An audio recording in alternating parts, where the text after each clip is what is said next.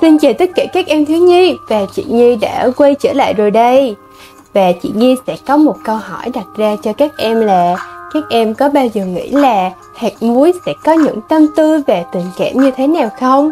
Thì để giải đáp những thắc mắc của tất cả các em, thì hôm nay chị Nhi sẽ mang đến cho các em một câu chuyện được mang tên Nỗi khao khát của hạt muối. Khao khát duy nhất của hạt muối là được xem thấy biển. Bằng mọi giá, nó muốn khám phá thế nào là biển. Ngày kia, nó đi ra. Vừa đến bờ biển, nó khám phá ra một cái gì mênh mông, xanh ngắt và sống động. Nó thốt lên, Biển ơi, hãy nói đi, ngươi là ai? Một đợt sóng trả lời, hãy chạm đến ta, rồi ngươi sẽ hiểu. Hạt muối trường mình xuống nước. Ô kìa, nó cảm thấy ngây ngất. Niềm vui tột cùng làm nó cảm thấy như không còn đứng vững được nữa.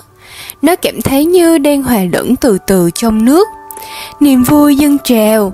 Nó hỏi lại một lần nữa. Biển ơi, hãy nói đi, ngươi là ai?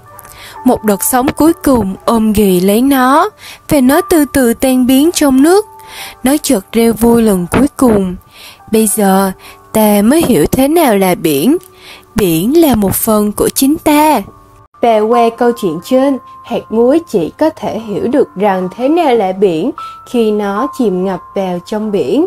Và Thiên Chúa cũng như vậy, Ngài luôn cao cả hơn lý trí của con người. Vì vậy, chúng ta không chỉ nhận biết Thiên Chúa bằng lý trí, mà chúng ta hãy để Thiên Chúa ôm chầm lấy ta để Ngài chiếm ngự vào trong tâm hồn của ta. Và các em hãy siêng năng cầu nguyện hàng ngày để tình tri giao giữa Thiên Chúa và con người luôn được nảy nở trong cuộc sống nhé. Và cảm ơn các em đã ngồi nghe chị Nhi kể câu chuyện ngày hôm nay.